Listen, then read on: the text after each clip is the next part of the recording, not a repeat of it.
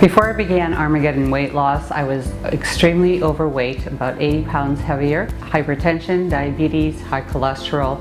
I was a mess. About 10 years ago, I was diagnosed with diabetes.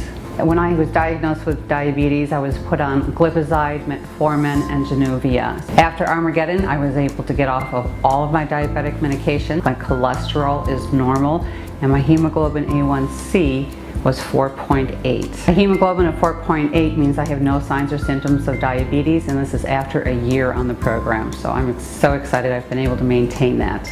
I was concerned that if I didn't get my diabetes under control that I could lose a limb, I could have a stroke, I could have a heart attack. Those are only a few of the medical conditions that are a result of having diabetes for many years.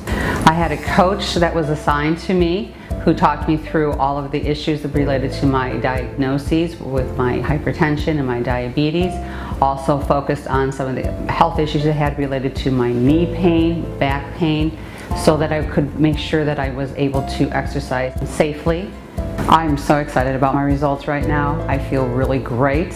I have lost weight and I am toned in spots that I didn't think I could get toned before. I have muscle definition and my energy level is ex extremely high right now.